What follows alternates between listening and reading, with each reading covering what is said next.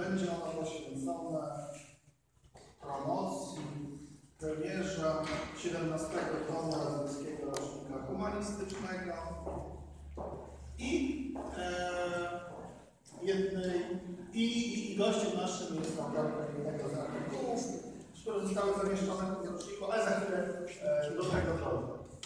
Proszę Państwa, czasopismo, e, jak sam numer tomu mówi, e, ma swoje lata.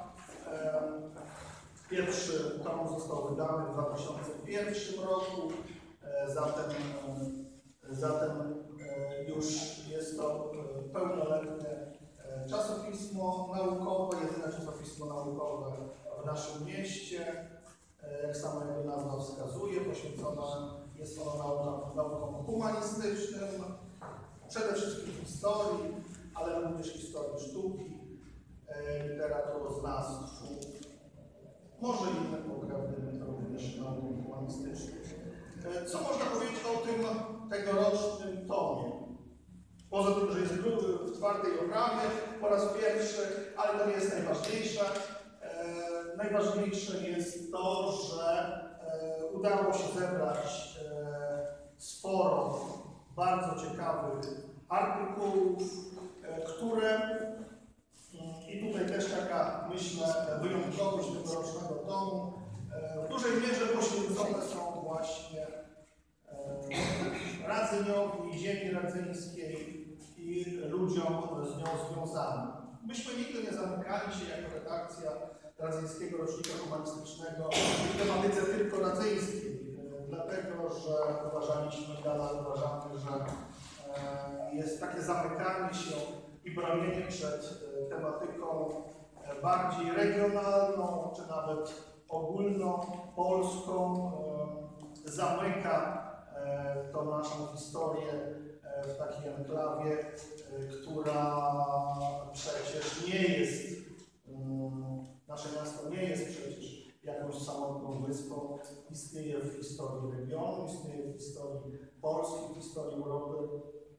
Także tutaj myślę, że ten nurt, że przyjmujemy również i publikujemy dotyczą czy dziejów, czy też innych zagadnień bardziej ogólnych, będzie kontynuowany. Ale y, dużo rodzyńskich, jak mówię, tekstów tym razem y, i dużo y, artykułów poświęconych ludziom.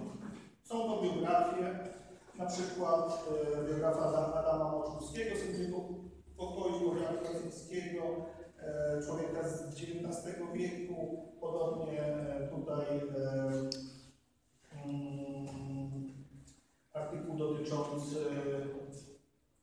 e, zaopatrywania hrabiego Szybowskiego, czyli naszego patrona tych spotkań, na sprawy odzyskania niepodległości.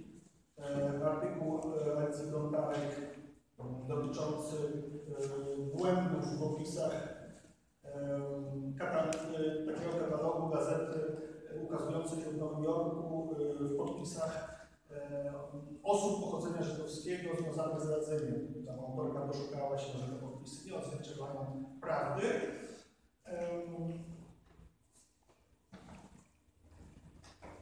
Artykuł pani Iwony Stefaniak, którą e, też również gościmy, dotyczący okupacji niemieckiej w dekanacie radzyńskim, bardzo ciekawy i odkrywający nowe elementy w naszej historiografii. Biografia Konstantego Witkowskiego, pseudonim Miller, komendanta Podła Imperiowej w Brazylii Podlaskim, autorstwa Daniela Sienkiewicza. Artykuł profesora Norosowskiej dotyczący księdza Zbigniewa Kucaka, który posługiwał Czemierniki przez pewien czas. I tutaj e, jest jego mm, pełny, e, pełny biogram. E, Artykuł kończący trylogię o mm, Józefie Koryckim, Ernesta Szuma. Tym razem Szum tutaj umiejscawia tą ideową postawę Koryckiego w świetle koncepcji, z, z takiej socjologicznej koncepcji bandytyzmu ideowego, dość intrygująca tematyka. I e, jeśli chodzi o racyjskie tematy, e, edycja źródła, jakim są listy Stanisława Doria Dernałowicza do Alicji Poznańskiej.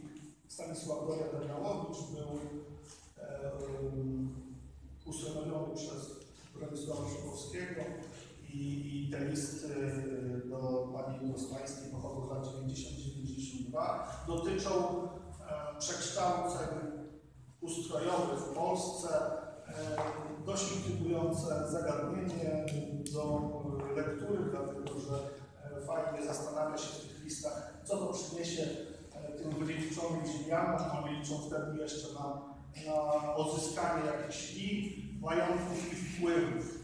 Z czasem to w tych listach widać, że to nadzieje jasne. Oczywiście listy główną y, oparte są na miłości Stanisława Dernałowicza do Alicji Poznańskiej, ale to, ale to jakby potraktowałem jako, że Państwo jeszcze tego dojdą w lekturze.